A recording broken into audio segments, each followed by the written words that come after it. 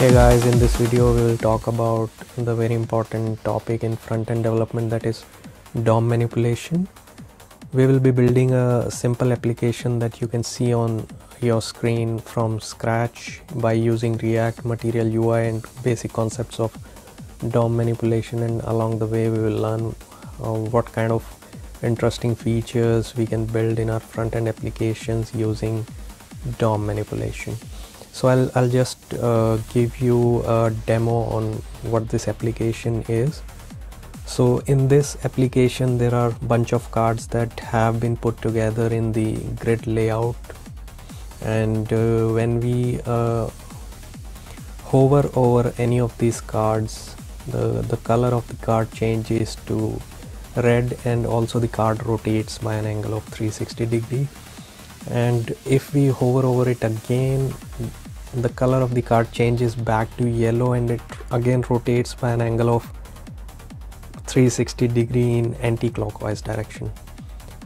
So uh, I've built these features uh, with the help of DOM manipulation using plain JavaScript and React. So uh, if we look at this application so it has created um, this kind of this kind of effect on the front end so to build uh, such uh, the idea of this video is not to uh, learn about how to build this application which is basically useless. It doesn't do anything. But the idea is to learn what exactly is DOM manipulation and how we can use it to make our applications more interactive and user friendly so before we start uh, building this application from scratch I, I uh, recommend that you subscribe to this channel to watch more uh, interesting content on web development. So let's go and get started with some code. So guys I have this react application which is running on my local host and uh, we will remove all the default stuff in the code and just write hello world to test this application so this is working fine. Now uh, we should actually start working on its front end part building all the cards and the grid layout. So for that we will install a package that is material UI by npm install command. So let's wait until uh, this package is successfully installed in the application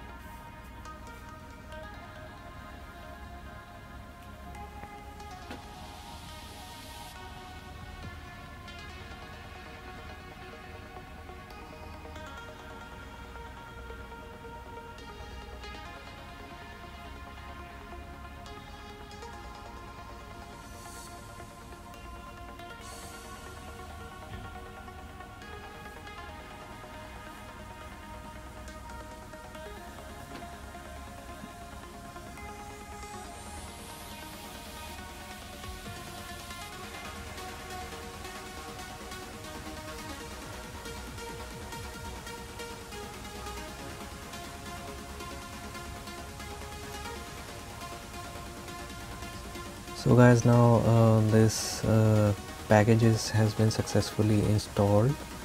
We will import some components from material UI that is uh, grid and the card component that we are going to need to build the grid layout and all those cards that we see, saw on the application. So let's uh, remove the hello world and uh, let's start by creating a grid container which will contain all the grid items and uh, all the cards below below uh, under this component. So in this container we will give a spacing some kind of spacing for each grid that will will be part of this. And under this let's create a uh, one our first grid item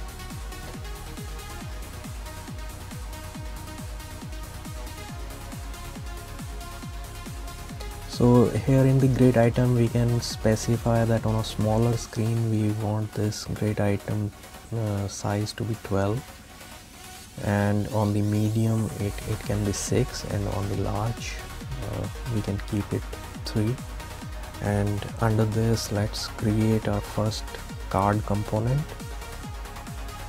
And uh, in this card component uh, we need to give uh, some kind of text let's put hey for now and let's see how it looks on the front end. So we can see the card. Now uh, maybe we should go and apply some some form of styling to this card to make it look more interesting.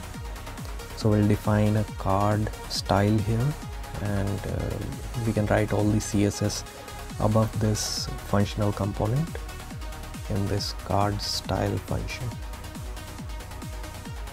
so here uh, we can give it a height of uh, 200 pixels to make it more uh, look more wider and uh, let's give it a background color of yellow. And let's see. And now it looks much better. Now we need to bring uh, the text in the middle of the card. So we'll give it another property that is uh, line height which will be same as the original height of the card that is 200 pixels. So now the text is in the middle. Let's uh, give a card some kind of margin from the top and left to make uh, to position it better. So margin top would be 2% and on the margin left we can give probably 1% so now the card looks perfect. We can assign some ID to this card to uniquely identify this card in the entire HTML will, will give it a ID of card 1 so our first uh, card is ready and uh, looks fine on the front end.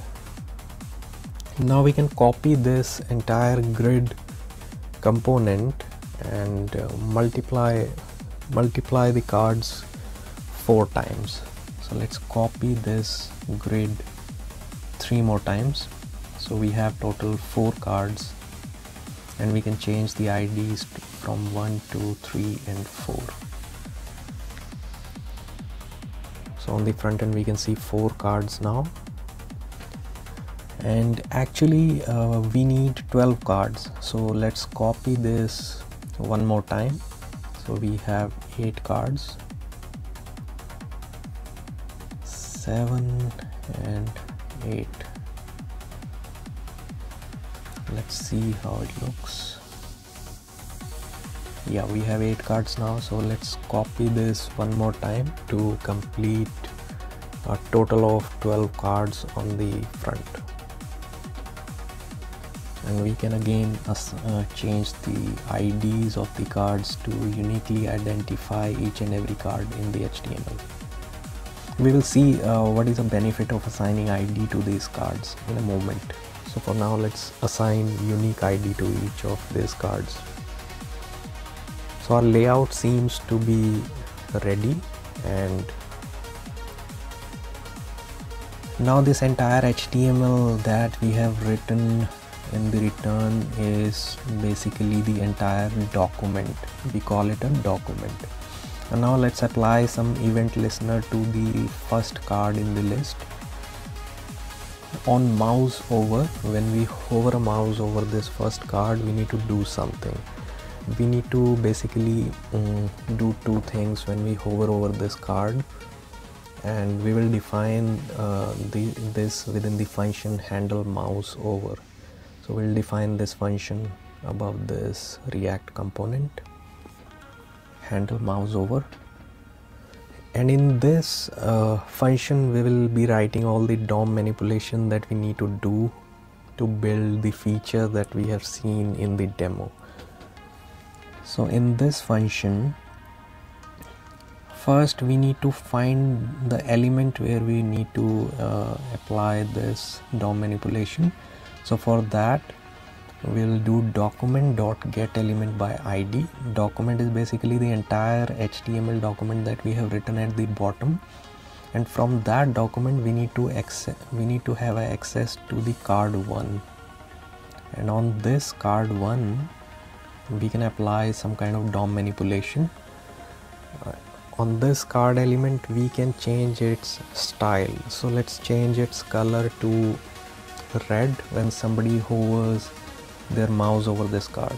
So you can see when when we hover mouse over it the color of text changes to red. Now let's change its background color to red instead of color. So when we hover over this card the color changes to red so this seems to be working fine for the moment. And uh, now let's improve the logic in handle mouse over. Actually we want this to happen for all the cards not just for the one card for all the cards. So we will make this more dynamic. So we will get the id of the card from where this function is getting fired from the uh, from uh, the card from where this event is getting fired. So for, to do that we'll do let id is equal to event.target.id and let's put this id inside this get element by id so now refresh this application. So it's not working. I think we have done some mistake in the code. Let's go back and check again yeah we forgot to apply this function on all the cards. So let's copy this function and apply it to all the cards all the 12 cards.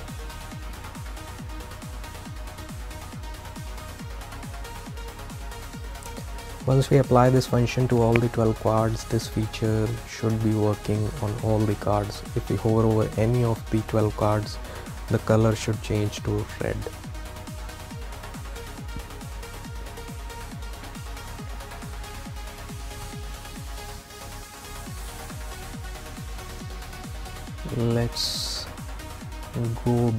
check again if all this feature is working. Yeah it seems to be working fine. As soon as we hover over any of these cards the color changes to red. So this is basically the DOM manipulation. We are manipulating the document when user is interacting with this website. When user is putting mouse over any of these cards we are changing the color from yellow to red. So let's improve this logic a bit more we can say that if the color of the card is yellow then change it to red. Else change it back to yellow. So this this will make it even more uh, interesting. Let's see what it does now. So when we hover over the card the color changes to red but when we hover over it again it changes back to yellow so you can see how powerful the DOM manipulation can be and we can implement such good features on the front end with DOM manipulation. Now uh, we are missing one feature here. We also had the feature of rotating the card when the user hover over these cards. So let's go and apply that feature as well for that we need to change the logic within this function a bit more.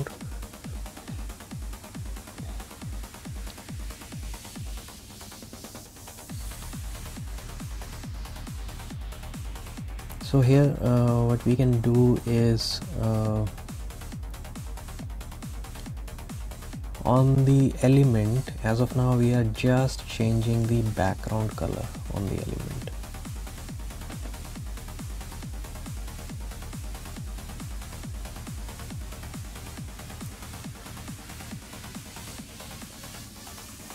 along with the background color we can put one more property that is um, transform. So as soon as uh, somebody hovers over this card we want to transform this and rotate it by 360 degrees. And along with this we need to also mention the transition time. Let's correct the error let's go back and see. Uh, so now we can see that when we hover over the card it rotates by 360 degree but it happens only once. If we hover over it again then nothing happens. It happens only once. So when when we hover over the card once it it rotates by 360 degree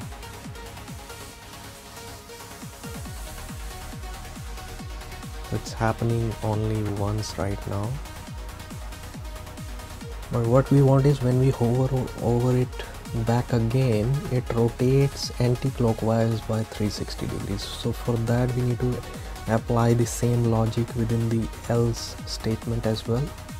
So we'll copy the these two lines from the top and copy it in the else as well and change the angle to minus 360 degrees so now you can see that when we hover over it again it rotates but in the opposite direction. So we have created the effect that we were trying to create.